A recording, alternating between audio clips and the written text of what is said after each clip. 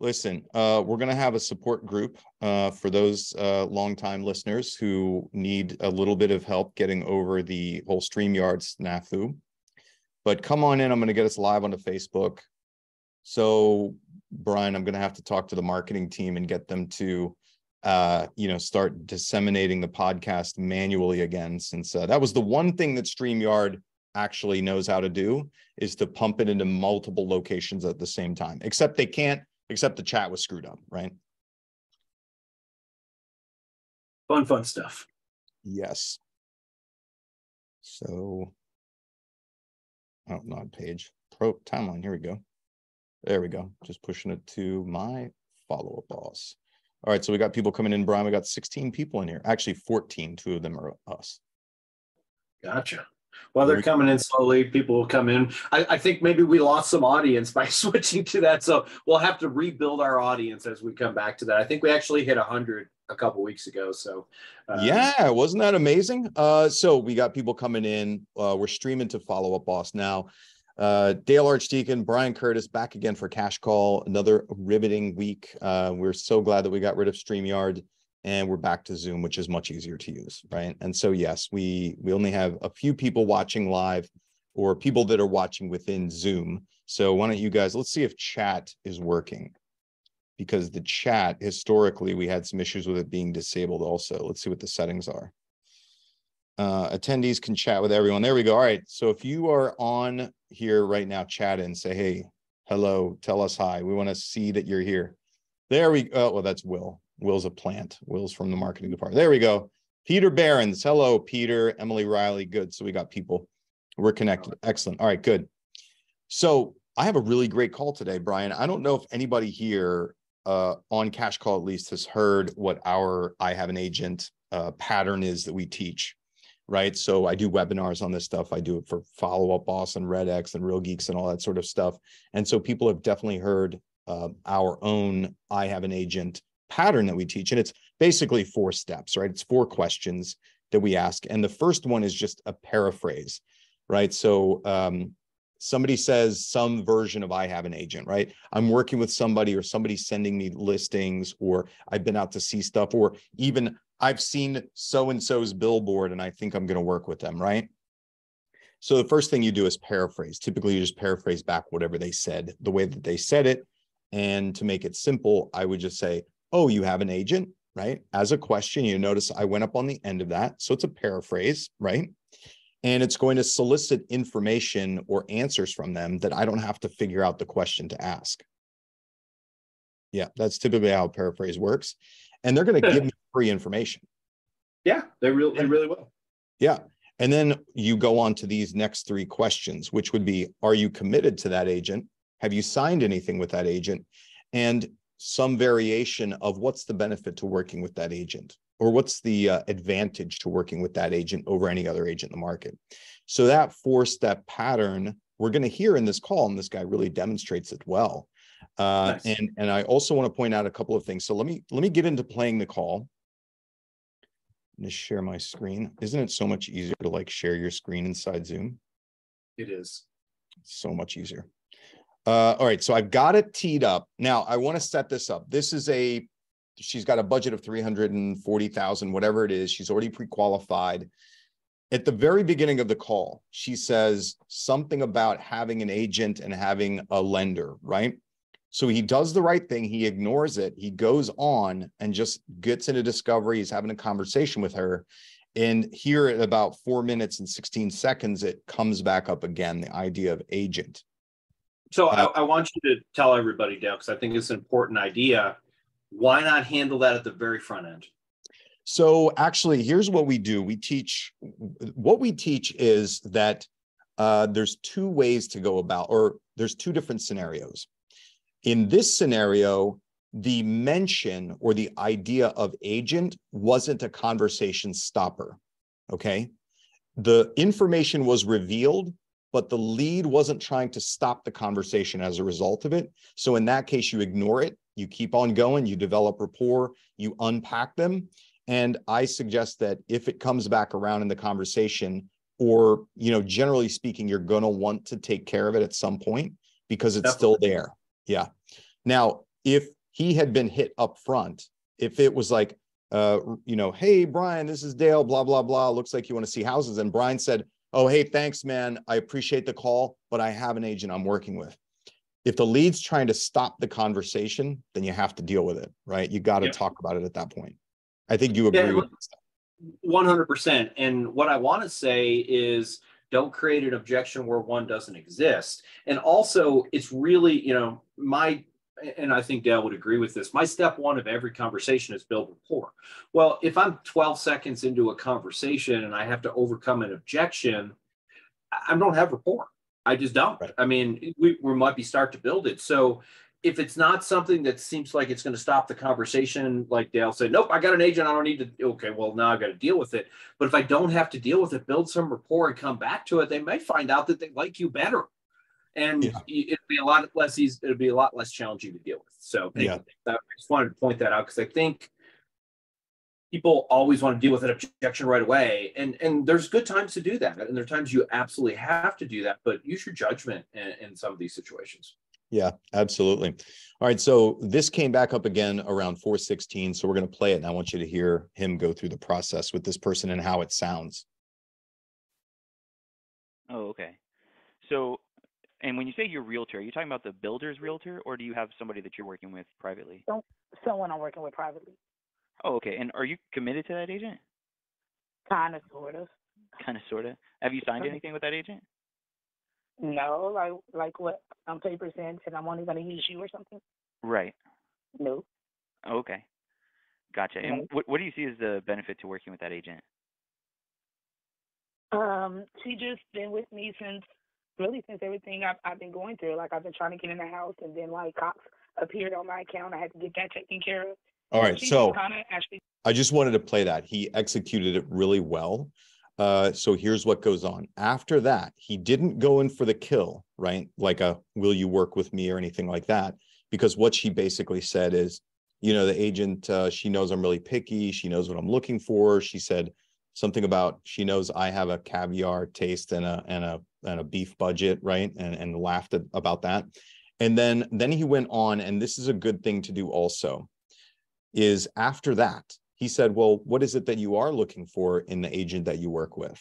And then she started telling the qualities that she wanted in an agent, right? And so then they continue on, and obviously the, the call is 18 minutes and 43 seconds long. So now he has this piece. She's not, she hasn't committed to only working with him as a result of this conversation, but she's open to working with him as well. And they're setting appointment to go, you know, to go out and look at home. So here he's been able to make that turn, make that connection, and then deal with that process in the middle and come out with a really great call on a piece of business where otherwise he might have either quit, which I hear a lot of agents or ISAs do when that gets mentioned, right? Oh, hey, well, let me know if that doesn't work out with the other agent, right? Or even trying to argue with her about how they should work with me instead of that other agent, but he didn't do any of that stuff. Just by unpacking her, hearing her out, getting the rapport, going through the process that we teach, she naturally liked him and wanted to continue on working with him, which is great. Yeah, and and I love that. And so this is a thing I hear all the time. So why are you calling me then? like, but I mean, I've heard it. You've heard it, right? I, have heard it. Yeah. I understand the agent's frustrated. I understand they paid money for that lead or whatever, and they're like, "Man, I was all excited." And usually, it happens like five minutes into a conversation because you're like, "Oh, I want to buy this," and I'm, you know, they're perfect. You're like, "Man, this is the greatest lead ever." And then we ask some version of, "Do you have an agent?" And then all the all the wind comes out of the sails. Right. So but going through this it's not about killing. It's not about like let's get it killed. It's about being subtle. It's about being influential. And you know at the end of the day if a person does say no like you know brian he's a great agent. I want to keep working with him man i completely respect that. If you don't mind i'm just going to follow up with you every couple weeks because sometimes things change. So there's a reason the person's on the phone with you though and understand that. I want to cover one other thing before we move on to the next is a lot of people when we go over stuff like this, like you're stealing that other client's, the other agent's client. No, I'm not. First of all, they don't have a signed contract. Second of all, why the hell are they on the phone with me? Um, at some point in time, either this person's a wild card and you probably don't want them anyway, or the agent didn't train them And by the way, you need to train your clients. Call me when you have any questions. You see any house that you want, call me. If you talk to anyone to let them know you're working with Brian Curtis, like you want to be ahead of this stuff and we i hate to say it but we got to train our clients so that we're not on the so that your client is not on the other end of dale's conversation Yeah, absolutely. And I would say, you know, me personally, this one's a little bit close because of, a- and I listened to it, right? Like how much she describes how long the, the the agent's been working with her, that she's been really patient, been doing this, been doing that. And, you know, uh, at the end of the day, it's a business decision. Um, I, after having listened to it, the guy executed it really well. He did a great job you know, I might not have tried to steal that piece of business, but you know, it, I think it just depends, you know. Yeah, and, and I guess what Dale and I are both saying is just use your judgment. Like if you feel like somebody spent the last three months showing this person property, holding their hand, getting them with the lender, working on their credit, I'm probably not going to steal that person. This this person's earned that. But they showed me one house three weeks ago, and I haven't heard from them since. Oh, That's Oh, yeah. my client now, you know. Yeah. And, and and by the way, you got to figure out where in between you're willing to draw that line. You know, Yeah. to Dale's point, I probably wouldn't have stole this client. I would have probably eventually said, "Look, I'll follow up with you in a couple weeks. If for whatever reason that's not working out, then you know, I just want to check in on you." But Yeah. realistically, I'm probably not stealing that client either. Yeah. And and I don't want to take anything away from this salesperson because they did an excellent job, right? They executed really well and it's in a beautiful uh demonstration of our techniques. Um, but you know, at the at, for me personally, I like to honor the other professionals in my industry. And if they're doing a good job, if they're working hard for somebody, like we all know how tough this job is, right? And and and it can be pretty thankless sometimes, and you do a lot of work for no pay. Uh, so you know, if if somebody's demonstrating to me that that professional is investing in them, then I would I would let that go. Perfect. Well, I think we're on the same page. Yeah. Well, I've got a call if you'd like me to play it. Um, I think it's a good call. Um, hopefully, I won't be proven wrong. There's some errors, like, but that's going to be true in every single phone call. Like, I could play every one of my phone calls, and I guarantee you can find something that you screwed up in it. So we're not saying that, that that's the case, but uh, I think this is an overall good call, and I think we we can, there's some things to be learned from it. So I'm going to go ahead and share my screen, and I know how to do this because we're using Zoom. All right. Give me a thumbs up if you hear my sound. Hi, Deucen. Hi, morning. Hey, with the Curtis Realty Group. I'm a local realtor here in Northwest Arkansas. How are you this morning? Good, good. How you doing? Doing good, man. Hey, uh, they said you wanted to schedule a showing for uh, 1070 Boardwalk this morning. Yeah, yeah. I'm I'm in town for just a couple of days, and tomorrow morning I'm leaving. So I was hoping. I want to point out the thing that I'd like about this call on the front end. Um, he did try and say the guy's name. I didn't like that. We couldn't hear that because I was editing. I didn't want our agent to get exposed, if you will. That being said, he did a good job of pretty much saying, Hey, you want to go see the property? And when you're dealing with lower funnel leads, realtor.com, Zillow, sign calls, ask them if they want to go see the property. And he did that. And I think that's Yep. really important. All too often we get caught up trying to do a bunch of stuff. Give the person what they want, which is to go see the house. hoping I can see it sometime today. I mean, it's it's up to you. It doesn't have to be the the, the time that I requested, but you know, sometime Okay. today. Sure. Um, could we do? Let me look at my calendar real quick. Sure. My morning is pretty full, but I could probably do like early afternoon, like one o'clock. Would that be okay? Yeah, yeah, that would be great. Actually, yes. Perfect. So let me get it requested for one o'clock, and let me take a look at the MLS real quick just to see, just to make sure that they don't have any funky showing instructions or anything. So this is where I think an error was made. Yeah. And, and, what, and the main reason I think an error was made is because he just told this guy he's not the listing agent. Right. Yeah. And- if, the, and if again- the guy's paying attention, he'll pick up that he's not the listing agent. Right. Now, again, the guy didn't ask, he didn't lie. There was nothing that that went on. But if someone's really paying attention, they might go, Hey, I thought I was talking to the listing agent. So again, not remotely ever suggesting you lie. I'm just saying don't show all your cards if if, if it's not time. Yeah, there's a difference between uh let me see, let me look this up and see if they have any funky restrictions versus, oh, hey, that sounds great. I'll just make sure it works for the owners. Yep. So Yeah. they're both the same thing, but in the second example I gave, you're not showing your cards, right? Yeah, and you can use any version of what Dale just said or something along the lines of, hey, I'll get that set up. By the way, if anything comes up, I'll, I'll reach out to you if, if something comes up with the seller. Whatever. You don't have to actively make sure everything's perfect. And we all have a tendency to do that. Like, well, I want to make sure I've got them on the phone. I want to check these box. No, no. Remember this simple concept. Easy to cancel an appointment, hard to set one. Yeah, and Brian, this also goes back to the thing that we're constantly reminding people about is that this might that might not have capsized this call, right? So I'm assuming the call went on, everything was fine, went water under the bridge, right? So what that does, as we say it here a lot of times, is that just hid from this salesperson what kind of error that is and what problem it can cause because he'll get away with it numerous times before he gets tripped up on it. Yeah, and I think that's the thing. So it's funny when we pay good calls, we have a tendency to be really nitpicky, right? Yeah. Because there's an opportunity. Now, what he did is that going to hurt him on in 10 phone calls? Is that going to hurt him 10 times? No, but it might hurt him once. And I don't know about you, but I, I like those. I want those extra one or two deals that I didn't, Oh, yeah. that I did the absolute right thing to make sure I get them. Why? Because just like everybody else, I'm lazy. I don't want to make extra phone calls. I'm already on the phone with this guy. I might as well close him, right? Right. So anyway, I'll play a little bit more. Sure. And they said you were interested in some other properties too. Were there other addresses that you might want to take a look at? Yeah, yeah. Uh, in, uh, I, I used to live in Northwest Arkansas. I, I moved out. I live in Florida now. Uh, and uh, I do have some funds now. Uh, what I wanted to basically do is I wanted to buy.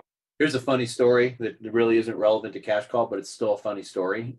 This guy was my client about Oh. 10 years ago. And you notice he said, I do have some funds now. the reason he said that is he wasn't able to close last time because he had some financial difficulties after we were under contract. So uh, yeah, it's Oh. funny. I recognized the name and I was like, holy crap. That's So- funny. Wait, we have a question here. Jeff C asked, Jeff Carlson asked, would you suggest us saying, let me check with the seller or seller's agent? Absolutely not, Jeff.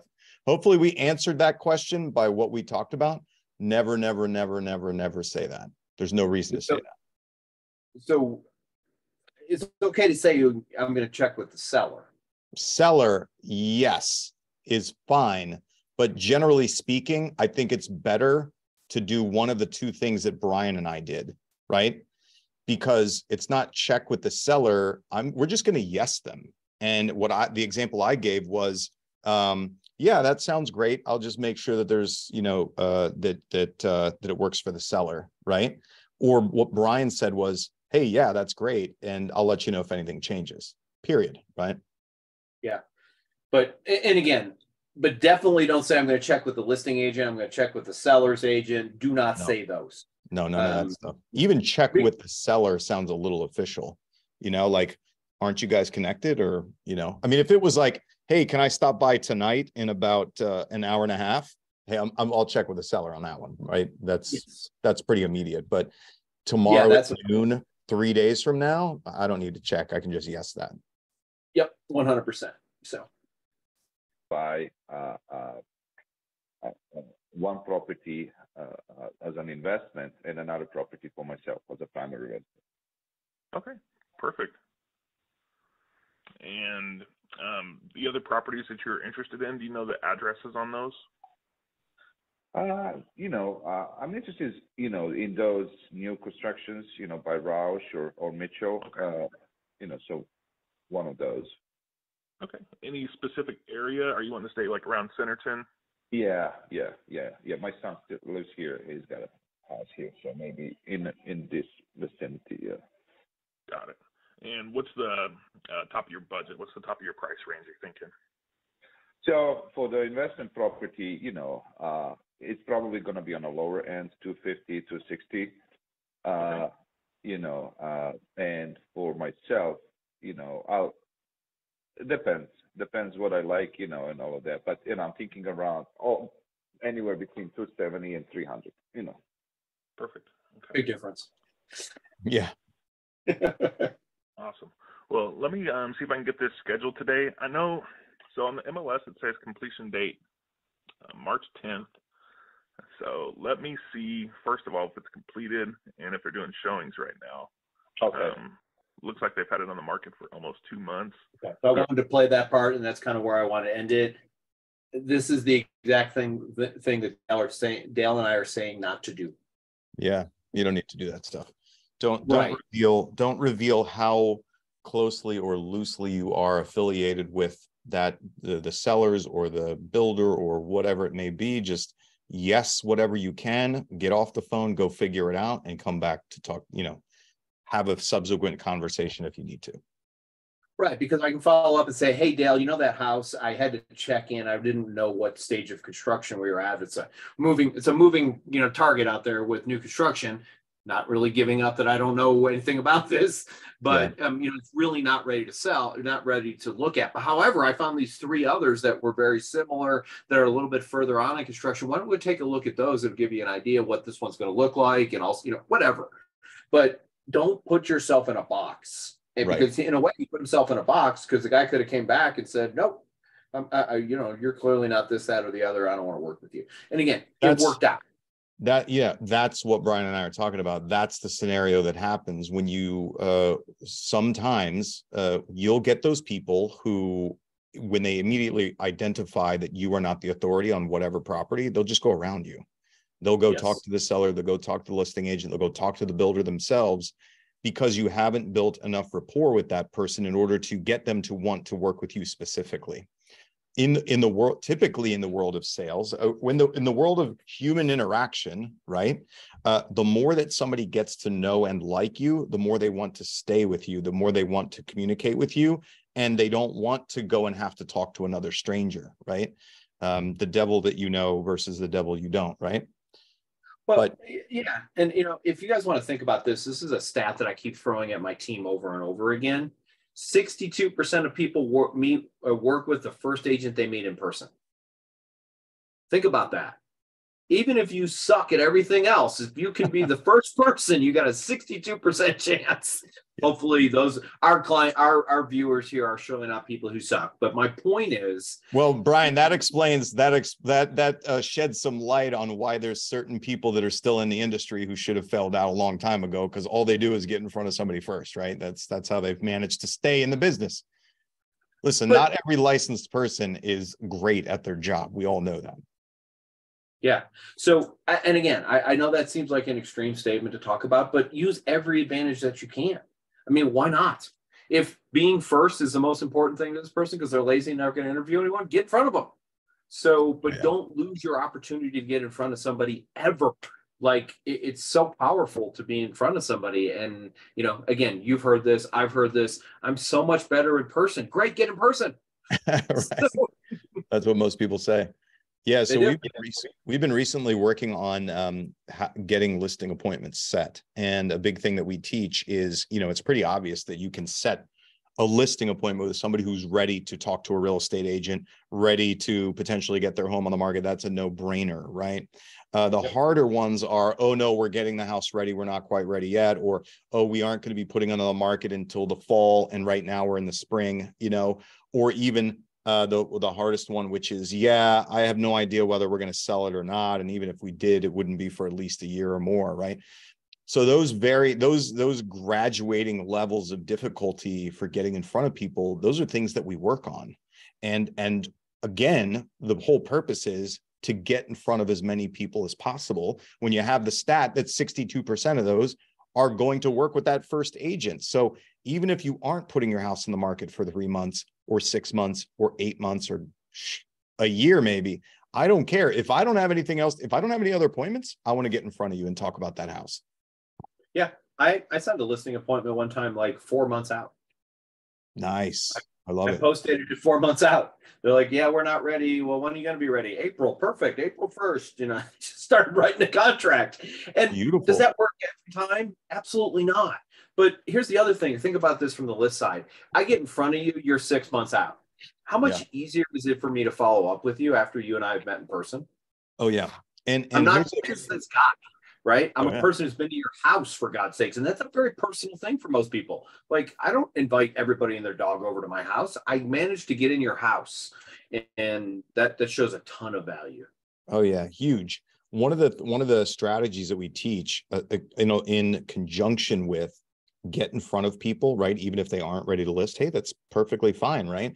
If you can get in there and you can have a conversation with them, even if they are three, six, whatever months out, what you do is because you're in front of them now, you can say, Hey, Brian, listen, I, I understand you guys aren't ready to get this property on the market. I understand that, not ready to be actively marketing it or having people come through, and that makes perfect sense. What my clients find really beneficial is if they uh, have me start to build interest in the property even before it's available and before we put it on the internet but starting to have conversations with potential buyers who aren't ready to buy yet, but will be down the road. And in order for me to do that for you, all I need is written permission to start communicating about your property with those potential buyers.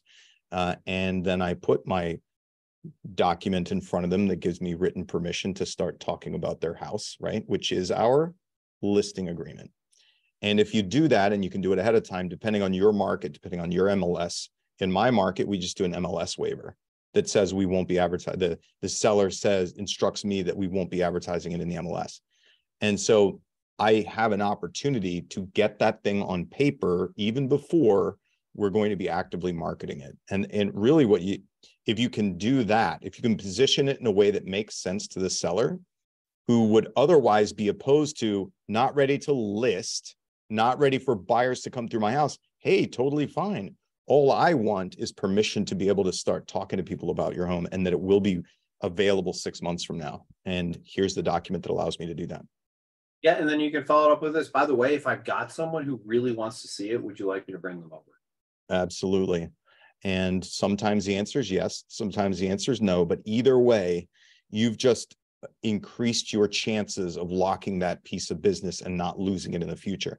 Because, Brian, how many times have either us or an agent we're working with been like, oh, I met with them. They were great. They weren't ready. And, you know, darn it, they ran, ran into Aunt Susie, who just got her license and they're going to list with her. Right. Yep. Or whatever it may. They met so and so agent at a barbecue and now I lost that piece of business. Yeah. And remember the law of reciprocity. So if I brought two or three buyers over there who didn't buy, in, in, in that month what's the chance that that person's now going to go with somebody else like i've literally bought them brought them a couple no granted they didn't buy but people aren't stupid they don't expect one person to walk in their house and write them a contract every time they're not yeah. people are yeah. people are smarter than that but yeah. i've shown without even actually listing your house i can bring you buyers and the law of reciprocity says you did stuff for me i need to do stuff for you. Now not everybody follows that. Some people are just jerks. I don't know how to say that. But for the most part you do something for someone they feel indebted to do stuff for you. So yeah that's true. I mean i i've spoken to FSBOs who were like oh no we're going to go with such and such agent because they've brought a few buyers by right? Like i've lost out FSBO listings because another agent had already been proactive in that way and had brought potential buyers through, even though they didn't buy when the FSBO, you know, finally gave up. They went with that agent that had invested that time and had that law of reciprocity. And they should. I mean, why not? The guy proved that he could do something, right? And yeah, I haven't proven anything. And am I going to fire somebody? Not really fire. I haven't hired him yet. Who's proven that they can do stuff to hire this hypothetical person I spent a five minute conversation with? Probably not. Right. So yeah, exactly. You know, bring value, and you know, it frustrates me when I first got into business. I'm sure you've heard this too. A lot of agents kept talking about wasting their time. Well, I'm not going to go show someone until they're pre-approved. That's a waste of my time. I'm not going to go meet with somebody who's that far out. It's a waste of my time. So what are you doing this afternoon? Well, I don't really have anything to do this afternoon. I'm going to hang out at my house because I don't have any business. Hmm. so my point is is that not every conversation that we have turns into a buyer or a seller right now. We got to invest in this thing. And and those of you who have been licensed for less than three years I, I can't say this loudly enough. That's what happened in 2020 and 2021 and part of 2022 was that we forgot that we had to nurture people because everyone was doing everything instantly right now. So if you don't understand what's happening because you're relatively new to the market that's what's happening. That from about 2020, middle of 2020 through the middle of 2022, that was an anomaly. You didn't learn anything in that time period, probably as an agent, except I got to show up really, really, really quick. Right. Uh, all right, man, we are out of time. I know that everybody is riveted to their radios or their two-way transistor, whatever they're listening to us on right now, but we have to end for today. We'll be back again next week. Thank you so much for joining us. Brian Curtis, Dale Archdekin out for another cash call. Thanks, everybody.